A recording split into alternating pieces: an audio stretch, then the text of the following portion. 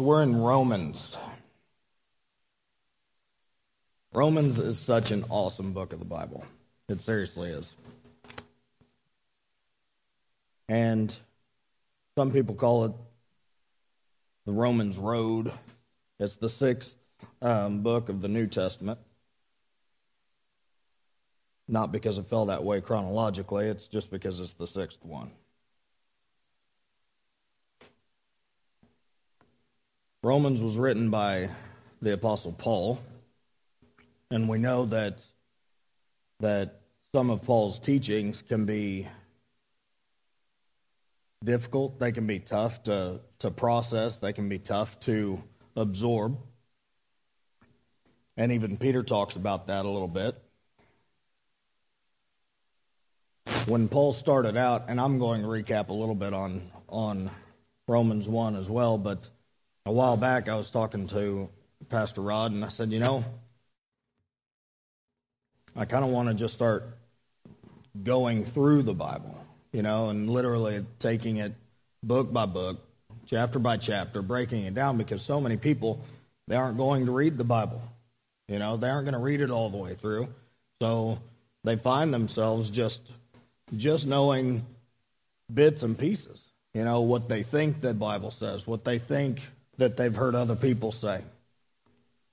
But they don't they don't dissect it all for themselves. And so I thought, you know, we should probably do that because we're the church and we're pastors, you know, and we're supposed to preach the word of God. And don't get me wrong, I love praying and, and asking God, God, what do you want me to what do you want me to deliver this week? Or what do you want me to deliver coming up? And being able to hear from him and and do what it is that he's telling me to do and, and stuff. And I want to assure you, I do the exact same thing whenever we're reading it through the Word and we're breaking it down for you. Because I promise you, there's no way, no way in the world that I could possibly deliver this Word to you adequately without seeking Him first. Not even remotely close.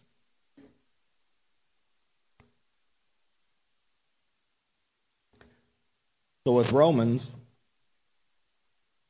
Romans is such a a deep book because it lays out the gospel in such an amazing way from the beginning to the end of it. He lays it out and he shows us that we all need a Savior that all of us have sinned. All of us have fallen short of the glory of God. None of us are righteous. It doesn't matter who we are. It doesn't matter what stage of life we're in. We're, none of us are righteous. Our most righteous deeds are like filthy, nasty, disgusting rags. But only through the blood of Jesus Christ, only through accepting Him and loving Him and believing that He is who He is, are we able to partake in the sacrifice and the suffering that he took, he bore our sin and shame on the cross to make the way for us, to make us righteous, because his blood covers us and makes our most wicked, horrible sins, makes us as pure and as white as snow. It says that he throws it as far as the east is from the west. That doesn't touch. That's how far away it is. You know? So, I know a lot of people get really offended at Romans chapter 1, chapter 2, and chapter 3. It's easy to get offended at these if you don't listen all the way through.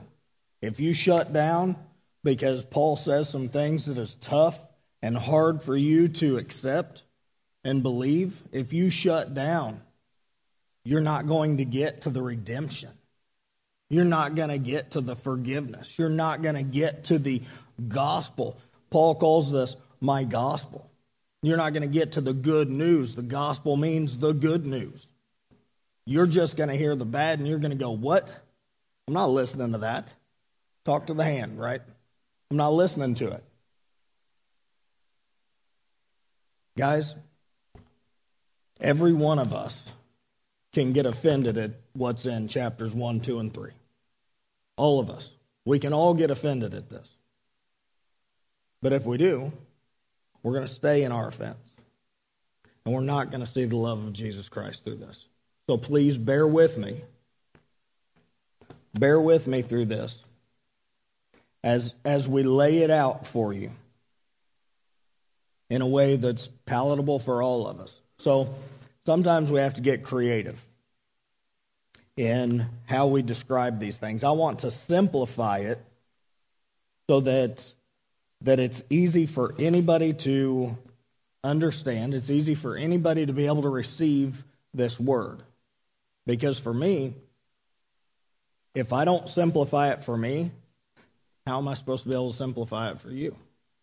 And if God wants me to present the word to you in a way that's going to renew your life, revive you, redeem you, restore you, make you into a place where, where you can receive his love for you, if I don't simplify it for me, how am I supposed to simplify it for you? So sometimes I have to I have to work it around a little bit, and I found a a uh, pastor, and he writes in um, he wrote the the app called Through the Word. His name is Chris Langham, and I was listening to him break down Romans, and the way that he started to break down Romans one, two, and three was basically like like it was a court case, like everybody was on trial, like, like this court was getting ready to be in session. You got a summons to come to court, and you're showing up to court, and he's breaking all this down for us, and I'll, I'll, I want to kind of lay it out similar to the way that he did because it helped me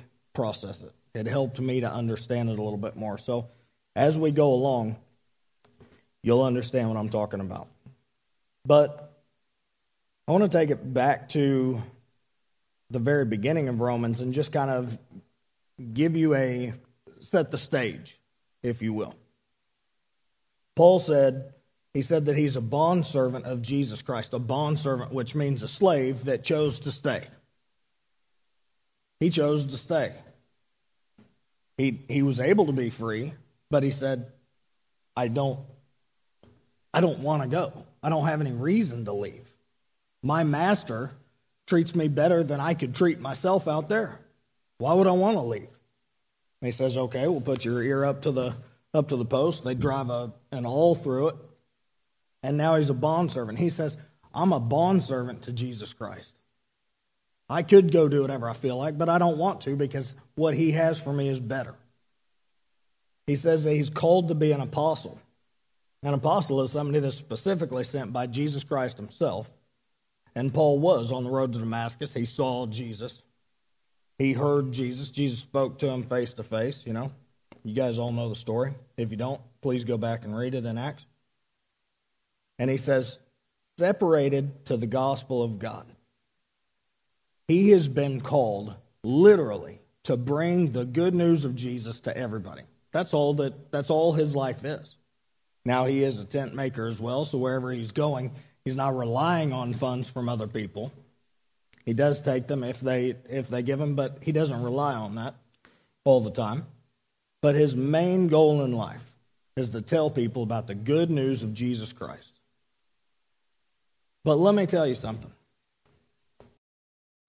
If you don't know that you need good news, what's good news to you? You aren't going to listen. If you feel like that you're right, you're good, everything's fine, I don't need anything, well, well who cares about good news? It doesn't make any difference, right? If you feel like you're good enough without God, why would you listen? So, that's why Romans 1, 2, and 3, he, he shows us the reasons why we need God. Paul was named Saul beforehand. But his life and his ministry, um, before he before he got into sharing the good news, the gospel, he was Saul and he persecuted Christians. He was a Jew, one of the best trained Jews, and and was outstanding in that. But then he met Jesus. And Jesus changed everything. Everything.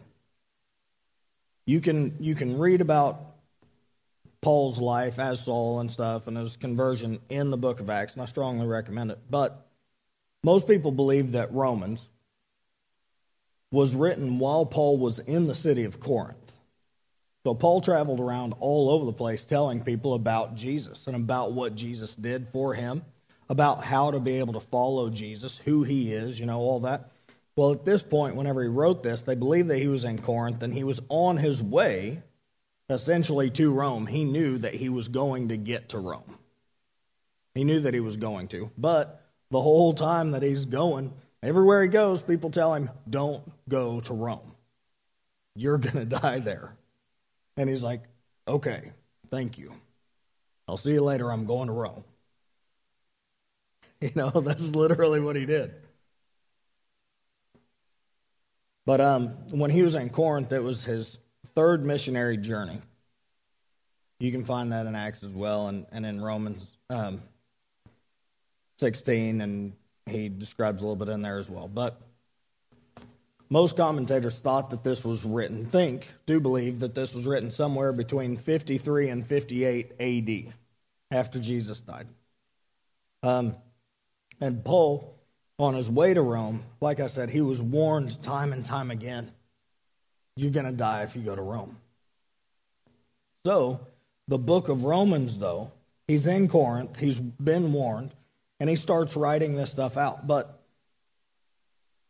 I, I think from my study and my breakdown of this is that he was writing this, the book of Romans, to the people, the Christians in Rome, specifically because he's hearing all this stuff. If you go to Jerusalem, you're going to be persecuted. You know, Paul got um, he got persecuted a lot, really, really badly, a lot. And so you can understand how he would think, well, I know God told me to go to Rome, but it seems like I might not make it. I've been shipwrecked a few times. You know, I get stoned everywhere I go. People have beat me so bad, you know, left me for dead. I've died. I've, you know, gone back into the city and like, I might not make it, but I know I'm supposed to talk to the Christians in Rome. So I'm going to write this letter out that breaks everything down and send it to them. That way they'll have it. If I make it, I make it. If I don't, I don't, but I'm going to send it to them. So Romans literally is him trying to break everything down in a very clear and plain way that they can all understand, they can all understand and see what he's trying to do. So that's why Romans is so different than all the other letters um, or the epistles that, that Paul wrote, I think. The, you know, some of his other writings and his teachings, they, they focus more on the church and its challenges and its problems. You know, he's, he's literally talking about the challenges and problems that they have in those churches. Well, this one, man, it focuses more on God and on his great plan of redemption for them. A plan of redemption for Christians a plan of redemption for Christians. Jesus was that redemption. Jesus did take our sins and our shame on the cross. He had already died at this point, he had already been crucified at this point. Isn't it interesting that we still have to walk out our salvation with fear and trembling? Isn't it interesting that that just because Jesus died on the cross, and don't please don't hear me wrong. I'm not I'm not saying just because, like, oh well that's it. No. What I'm saying is Jesus died on the cross for us to take our sin and our shame. But that doesn't mean that every single person is going to go to heaven now. There's a way to heaven. And it is through Jesus Christ by accepting what he did. And so Paul is having to lay all this stuff out because there are basically three different types of people that, that Paul's really addressing here, and it's the wicked, it's the godless, and it's the religious. The wicked, the godless, and the religious. We're gonna, I'm going to try to break this down for you and show you how this works. But I want to, um, I want to read what Peter wrote about Paul in 2 Peter 3 15 through 16. And if you guys know anything about Peter and Paul, they did butt heads once, maybe twice, um, because uh, they were being human. They were being humans. And so, but after all that, Peter writes this, and Peter is who Jesus is building his church on. So Peter is like, I'm, I'm Peter. you know, I was Jesus' favorite. He chose me to build his church on. He let me walk on water. I got to go everywhere. I got to go up on the mountain and see him transfigure, you know, and I, I got to go do all those things. I'm the greatest. But then you have Paul, who was definitely the, greatest apostle that we see throughout the Word, wrote almost a third of the New, the New Testament, who Jesus met face to face and told him, You're going to have to suffer for me. It's such an interesting dynamic. I would love to be able to sit Peter and Paul down and be that third person in this conversation and just talk to them and listen to them and watch them interact with each other because their personalities are so dynamic. Well, this is what Peter says. He says, Also, our beloved brother, Paul. That's how Peter refers to, to Paul, the one that's writing Romans. Our beloved brother, according to the wisdom given to him, has written to you as also in all of his epistles, in which some things are hard to understand. Paul says, or Peter is, talking about Paul and says, Listen, I understand some of the things that Paul writes is hard to understand. It's hard to get. He's straight up telling people that because he wants them to know just because it's hard to understand doesn't mean you shouldn't try. Doesn't mean you shouldn't make an effort to understand what Paul says. And even if you disagree with it, you should try to understand what he's saying. I would encourage all of you that anytime that you're reading something, especially in the Word of God, if you don't start out, which you should start out by asking the Holy Spirit, God, reveal to me what it is that you want me to get out of this Word every time you pick this up. Every time you pick it up. Because it's God literally speaking to you through this. He's literally speaking to you. You get to hear what he's saying. You get to know his words through this. And you need to ask him to reveal it to you, to help you to understand what it means. The Holy Spirit will reveal all things to you, show you all things, even things that are hidden. So he wants to do that for you.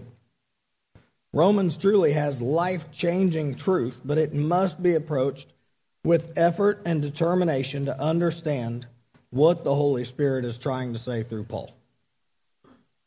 Like I said, there are things in here that may offend you or could potentially offend you, but please try to hear them out and ask the Holy Spirit to reveal His truth to you through this word. Paul started out, and Rod uh, touched on it again this morning in chapter 1, verse 16. He says, I am not ashamed of the gospel of Jesus Christ, for it is the power of God for salvation If this is the power of God for salvation, if the gospel of Jesus Christ is the power of God for salvation, then shouldn't we listen? Shouldn't we try to perceive? Shouldn't we try to process through it? And, and who are we to say, no, my understanding of the way it should be is, is more correct than what the Word of God truly says? I know that, that people, people call this politically incorrect. This is politically incorrect in today's standards. Like Rod said, we get taken off of, of YouTube and all this junk. Who cares? Whatever. There's probably going to come a day where um, people will come and try to put me in prison for preaching the truth of this word. If they do, they do. Continue on. Continue on, whether I'm in chains or not. Most of what Paul wrote, he was in chains while he wrote it. You know? They couldn't believe that, that Peter was showing up to the front door because he was in, in prison, and they were pretty sure he was going to be killed the next morning. He was going to be killed the next morning. That's why God let him out.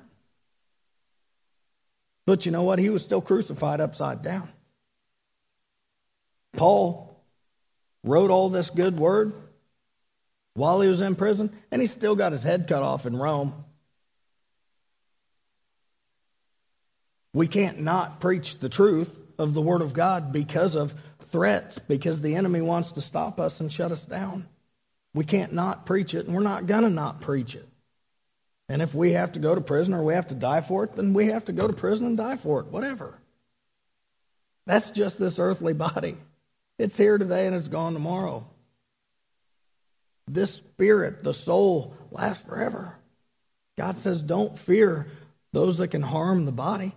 Fear those that, that can take your soul. That's what matters. So we're going to teach the truth and preach it, but please listen all the way through. Because even the hard stuff that's in here, even things that maybe we disagree with, there's a purpose and a point for it. God says the righteous will see God. The righteous will enter the kingdom of heaven. We're not going to make ourselves righteous, guys. We're not. We're going to rely on the one that can make us righteous. Okay, so that's where we're going today. I'm going to present this somewhat as a court case, starting off. I am going to read through some of this. I'm sorry, I'm, I'm probably not the best reader. Brittany actually told me maybe I should have somebody else read it at one point. I'm like, that's a pretty good idea, but I don't have time for that today. So you guys are just going to have to deal with me. But is this biblically, politically correct? This is biblically correct. It stands on God's truth. But what I want to get at is why God says what he says. Why does he lay it out the way that he lays it out? And I think that all of you will love this.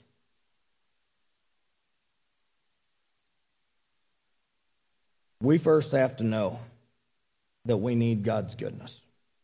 We have to know that we're sinners, saved by grace. So when Paul starts out, he just starts just nailing these things down. You'll notice that all through chapter 1. So we're in Romans. Um, I'm going to just barely hit some stuff in chapter 1. But one thing that you'll notice is he's talking to the wicked, the godless, and then in chapter 2, he really gets to the religious people. And um, he's kind of covering everybody through here. So the wicked are the people that know that they're sinners but they're rebellious. They know what they're doing, sin, but they're going to do it anyway. Has anybody ever done that other than me? I'm throwing it out. I, I've done it. Probably still do it.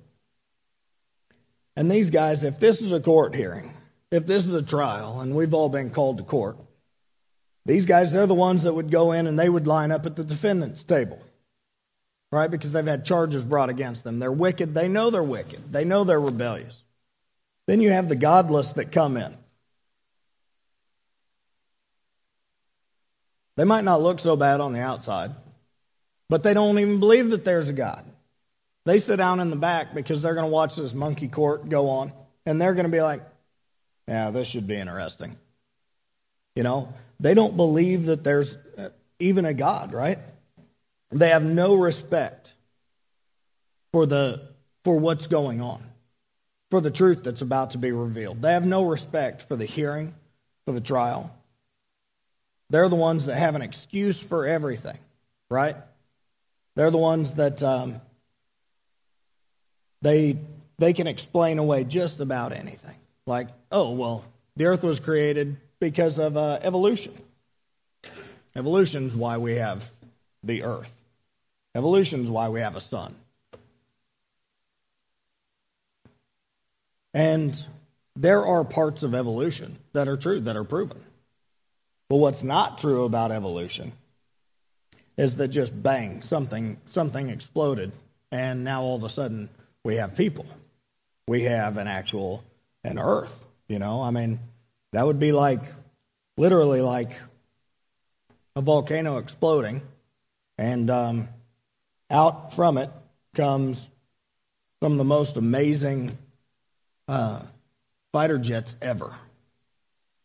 The most capable, you know, but then somehow they also create little mini fighter jets that grow up into big fighter jets. Like, it just doesn't make any sense, you know. It literally just doesn't. But they try to stand on these excuses, right? But they go and they sit down at the back of the room just to watch this thing because they don't even know that the judge exists. They don't even believe that he exists. Well, then you have the religious people, right? They're confident that they belong in the jury box. They're confident that I got summons here because I'm going to prove what everybody's done wrong. Because I know. Maybe they're even walking in, eyeing the gavel, you know, ready to pass the judgment. They just, they're maybe not even going to go to the jury's box. They're like, you know what, I'm probably the judge here, actually.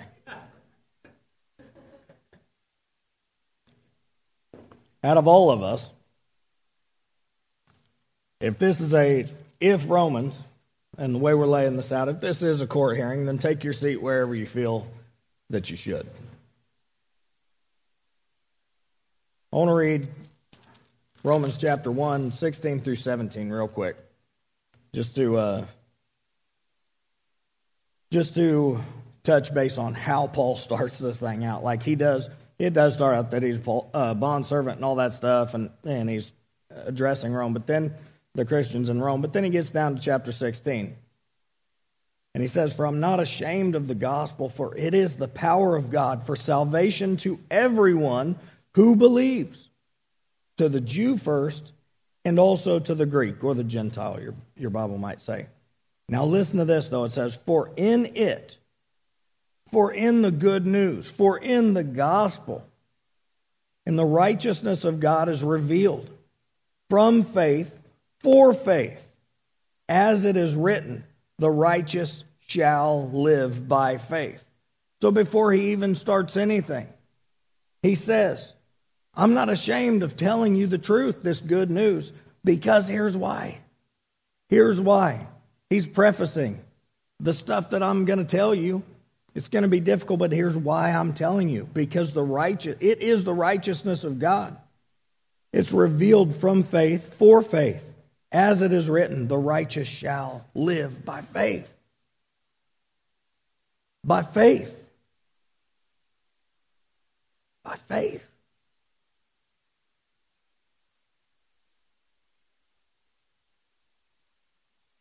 I think sometimes we have faith in the wrong thing.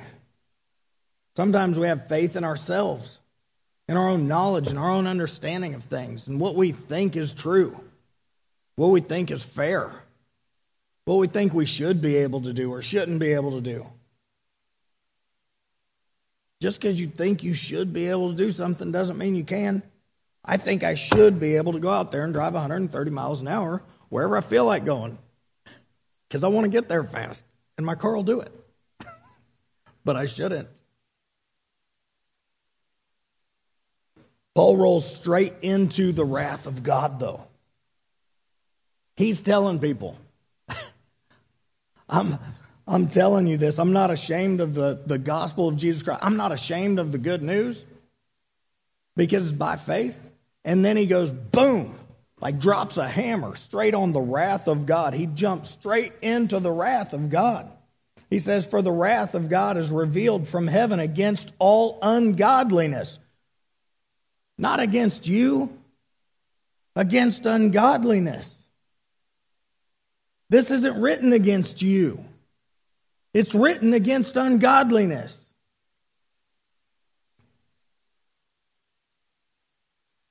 Don't take it personal. Who wants you to take it personal is Satan.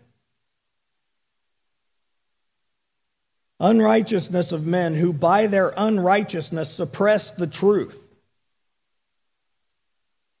Don't allow the truth. Unrighteousness doesn't let people see the truth, it tries to blind them and hide them and hide the truth.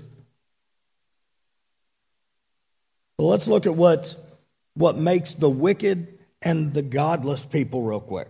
Okay? Let's, let's look at what, what he's talking about, who he starts to address here first in this court hearing. If Paul's the, the prosecutor, right? So he's getting up and he's, and he's starting to lay this out. What makes the wicked people and the godless people? And let's, if you if you're watching, if you're reading in Romans, he's all through Romans chapter 1, he's calling them them. He's saying them.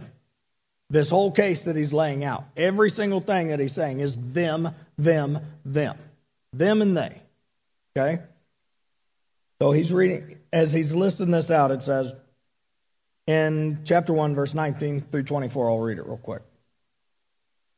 For what can be known about God is plain to them because God has shown it to them from his invisible attributes, namely his eternal power and the divine nature, have been clearly perceived ever since the creation of the world in the things that have been made.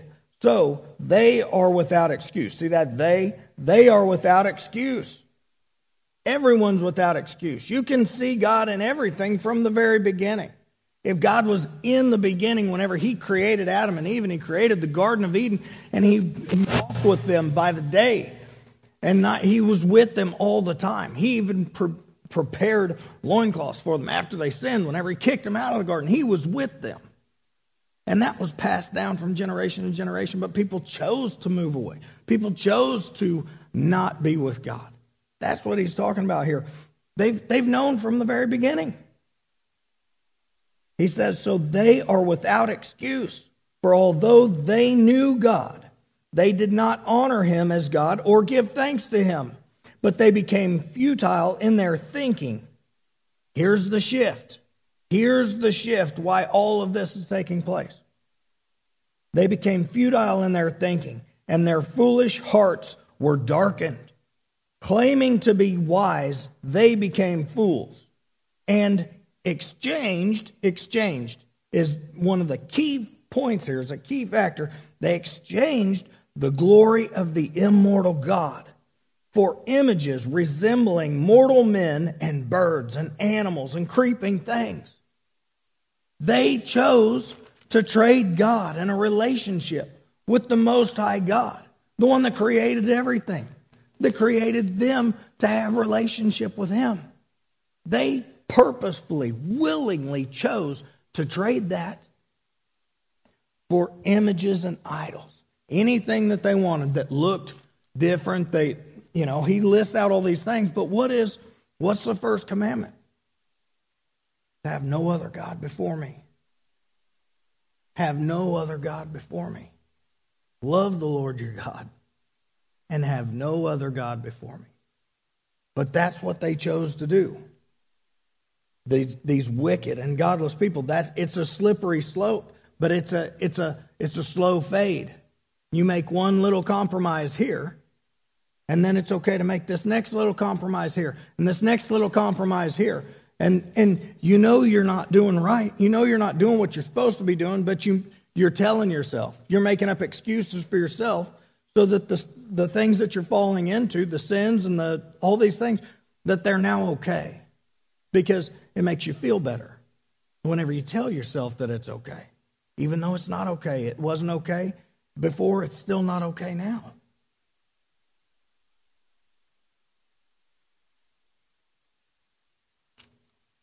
Then Paul lays out the consequences. God turns them over to the desires of their sinful acts. God turns them over. God turns them over. Do you think he wanted to turn them over? Do you think he wanted them to fall away? Do you think he wanted to let them go down that route, down that path? No. Just like we don't want our own kids to, to make bad choices, to touch the stove when it's hot, to, you know, whatever. We don't want them to. But if they're so persistent that they're going to do it anyway, sometimes you just got to let them. And that's what he did. He just, he had to let them. And that's what happened here.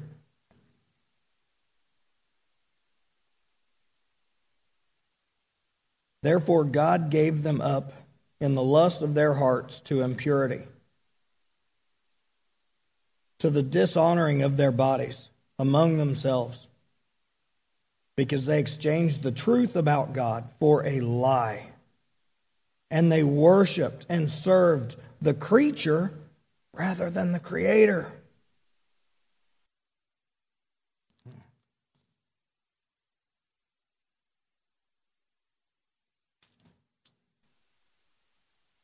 Let's step into chapter 2. So Paul was talking to the the wicked people and the godless, right? And then as soon as you roll into chapter 2, well, actually, let me read the last verse of chapter 1. I think that's pretty, pretty paramount.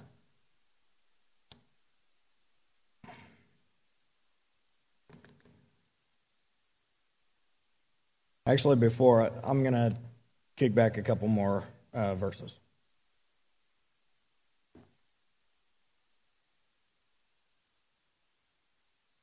In verse 28, it says, And since they did not see fit to acknowledge God, God gave them up to a debased mind and to do what ought not be done.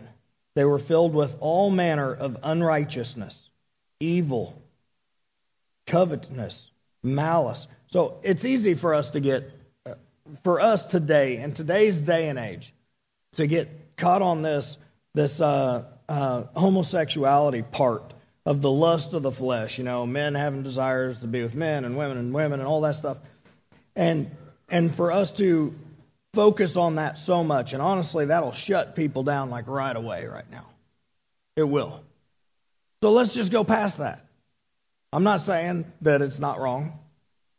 I'm not saying that it's right either. Okay? But let's go past that and look at, at these next couple verses. 29. They were filled with all manner of unrighteousness, evil, covetousness, malice. They are full of envy, murder, strife, deceit, maliciousness.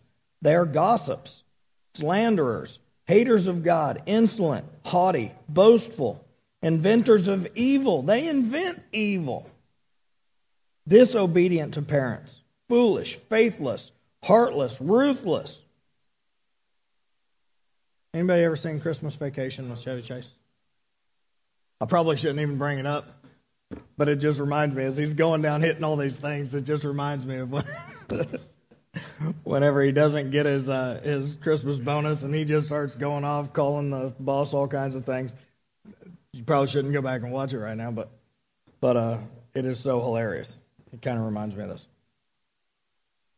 It says, though they know God's righteous decrees that those who practice such things deserve to die, they not only do them, but give approval to those who practice them. Who do you think he's talking about here? They know God's righteous decrees. You know, we, we have this, this book broken up into chapter 1, chapter 2, chapter 3, different verses. Paul didn't write it like that. Okay, this was one, boom, one long thing. This, this last one probably ought to be um, chapter 2, verse 1. Though they know God's righteous decrees that those who practice such things deserve to die, they not only do them, but give approval to those who practice them. So, all in chapter 1, he was saying they, they, they, they, they, they. Now, right off in chapter 2, therefore you have no excuse. This, this was written to the Christians in Rome. This is written to me and you. To me and you. This is written to the religious as well. This is a warning just as much as it is anything. But it's a roadmap for righteousness. So he says, Therefore, you have no excuse, O man, every one of you who judges. For in passing judgment on another, you condemn yourself because you, the judge, practice the very same things. Holy smokes. Hmm.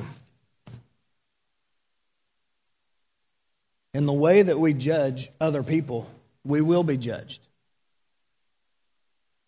We have to understand that Paul isn't saying that we don't help people, we don't show them, we don't love on them, we don't reveal God's truth to them. He's saying don't judge them. Because in judging them, you're bringing condemnation on yourself. You're going to be judged the same way. We're called to love people.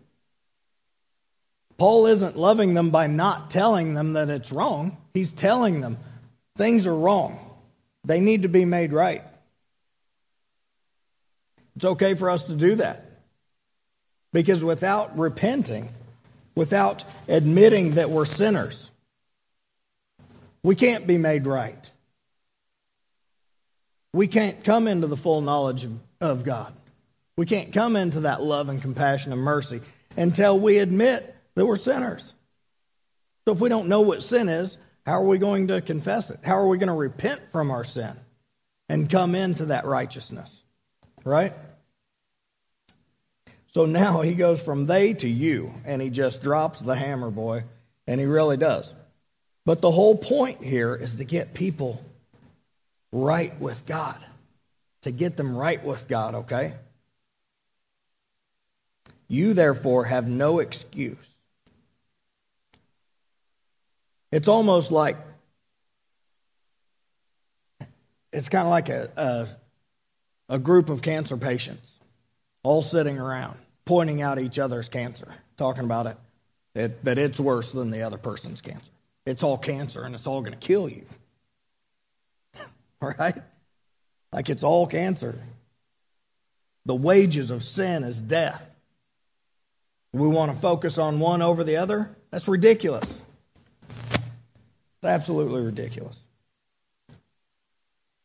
So he says, We know that the judgment of God rightly falls on those who practice such things. What does that practice mean? There's a difference between practicing something, living in it, and stumbling and falling every now and then into your struggles. Okay? The word says that a righteous man falls seven times and gets back up. There's a difference in living in it, dwelling in it, practicing it all the time, not wanting to, or versus not wanting to, right? So then he says, Do you suppose, O oh man, you who judge those who practice such things and yet do them yourself, that you will escape the judgment of God? Or do you presume the riches of his kindness and the forbearance and patience, not knowing that God's kindness is meant to lead you to repentance? But because of your hard and impotent heart, you are storing up wrath for yourself on the day of wrath, when God's righteous judgment will be revealed. This, this lays it out. It's His kindness that leads us to repentance. His kindness. We're supposed to look like Him and be like Him. We have to show His kindness to people that struggle with sin, even sin that's not like ours, sin that's maybe a little different than ours. If we don't, how are we supposed to look like Him? And if we don't, maybe that wrath and that judgment is being stored up for us. He will render to each one according to his works, to those who by patience in doing well seek for glory and honor and immorality. Uh, immortality, thank you. There's a huge difference in those two words. immortality. he will give eternal life. He will give eternal life for, for those of us that seek those things. But for those who are self seeking and do not obey truth, but obey unrighteousness, they there will be wrath and fury. Okay, so listen to that. For those who are self seeking and do not obey the truth. Self seeking. Why would we why would we sit there and make excuses? Why would we sit there and try to find reasons to be able to stay in something that the word calls absolute sin? Because it's self seeking, it's selfish desires. It's us wanting to be able to do whatever we want, however we want, whenever, wherever, whyever we want, because it's what we want, and we think that it's going to make us feel good. But we know that that's not true in our heart of hearts. In our heart of hearts, we know that that's not true. We cannot continue in something that God calls sin. And that's every bit of everything that we've been talking about. I think that it's interesting that he says, There will be tribulation and distress for every human being who does evil, the Jew first, and also the Greek, or also the Gentile. You'll notice that that's something that Paul says through here a lot the Jew first, and then the Gentile. The Jew, and then the Gentile. Over and over and over the righteous and the unrighteous. That's what that's supposed to mean. Okay? But he says that there will be tribulation and distress for every human being who does evil. The Jew first, the righteous, the person that thinks that they're right all the time, and the Gentile, the Greek, the sinner, the godless. It will be there for, for both sides, for all of those sides. It'll be there for all those sides if you don't honor God. But glory and honor and peace for everyone who does good, for the Jew first, and then the Gentile. For God shows no partiality. Isn't that incredible? I love how incredible that is.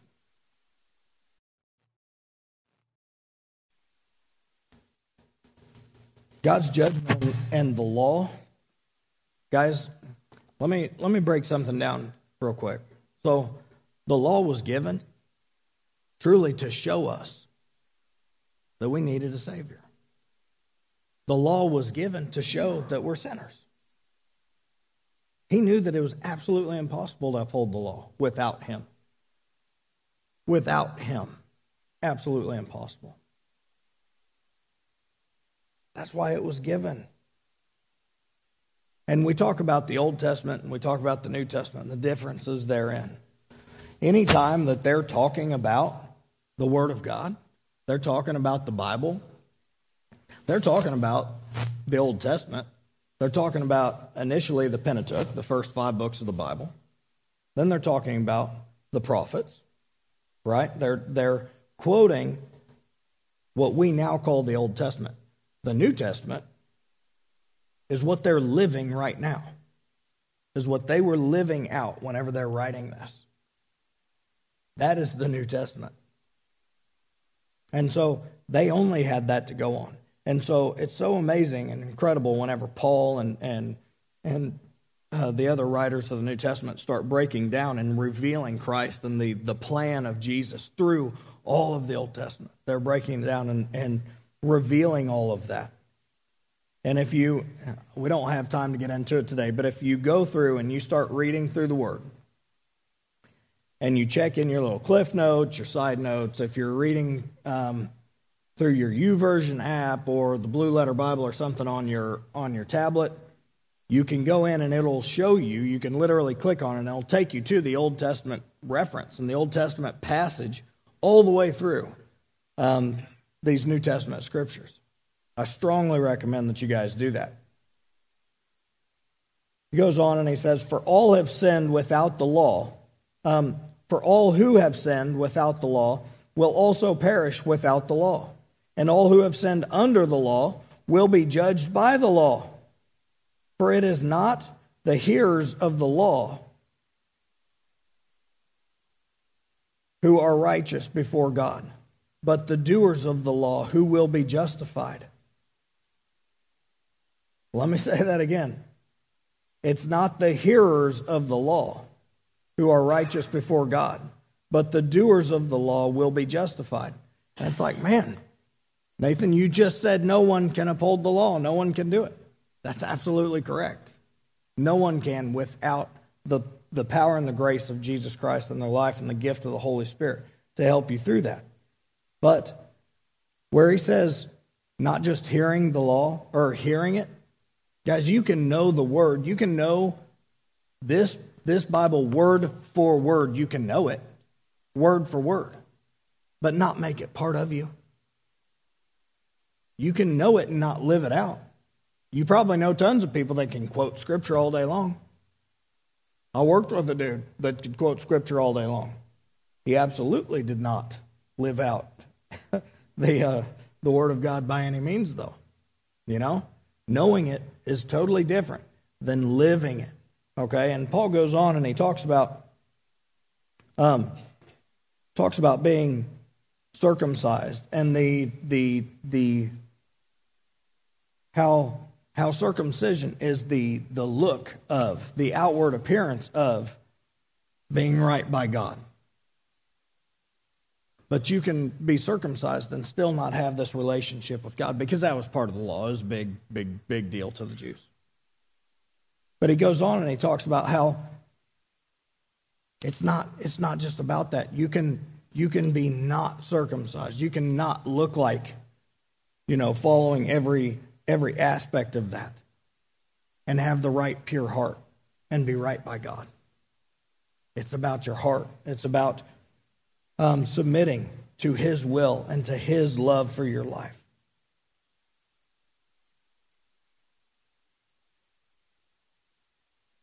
If you call yourself a Jew and rely on the law and boast in God and know His will and approve what is excellent because you are instructed from the law, and if you are sure that you yourself are a guide to the blind, a light to those who are in darkness, an instructor of the foolish, a teacher of children, having in the law an embodiment of knowledge and truth, you then who teach others, do you not teach yourself?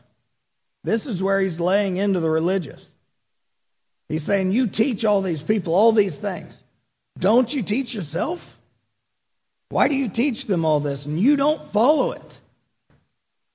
You're just as wrong as they are, if not more wrong. Technically, more wrong.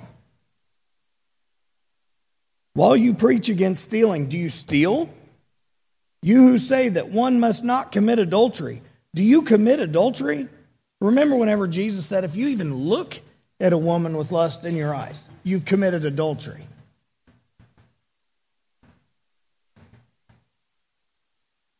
You who abhor, abhor idols, you who hate idols, do you rob temples? Do you take things for yourself? You who boast in the law, dishonor God by breaking the law. For as it is written, the name of God is blasphemed among the Gentiles because of you. Oh my goodness. That's a heavy weight. The name of God is blasphemed among the unbelievers because of you. You hypocrites, is what he's saying here.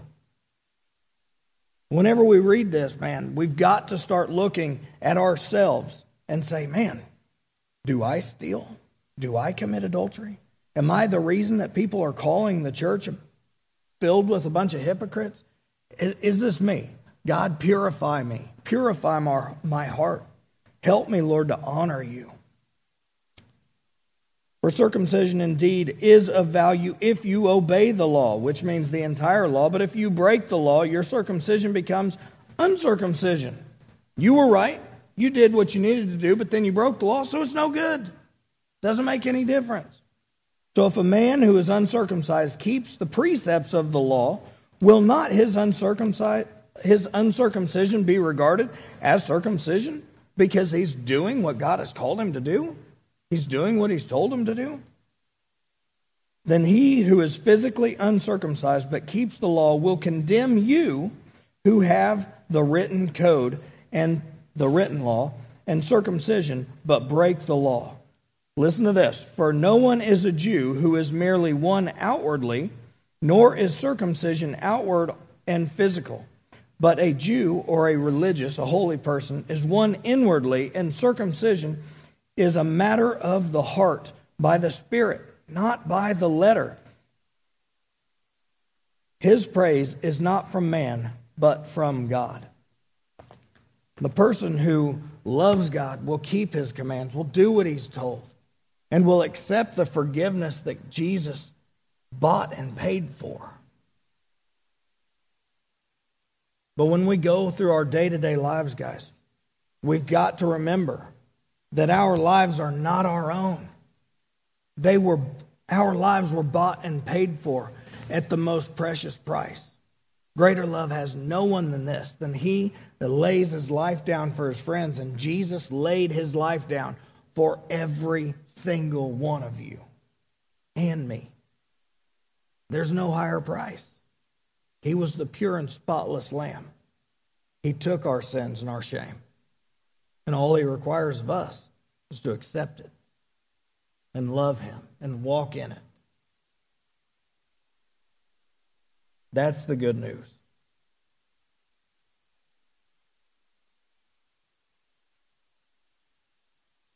Does anybody have any questions?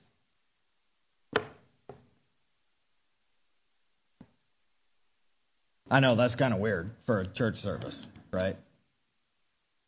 But I feel like we're close enough family that we can ask some questions if we want to. If I can't answer it, hopefully Pastor Rod can.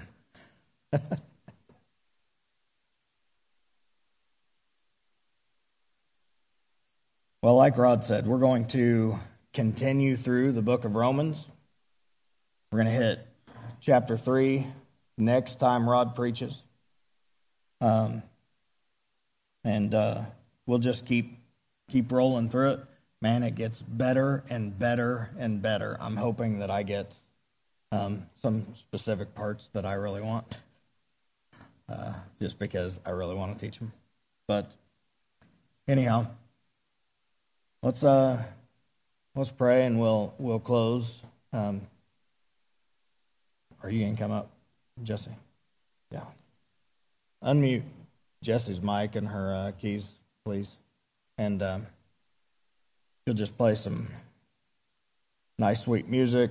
And if anybody has prayer requests, if anybody needs prayer for anything, you know, you can come up or you can raise your hand. We'll come back and uh, pray over you, whatever.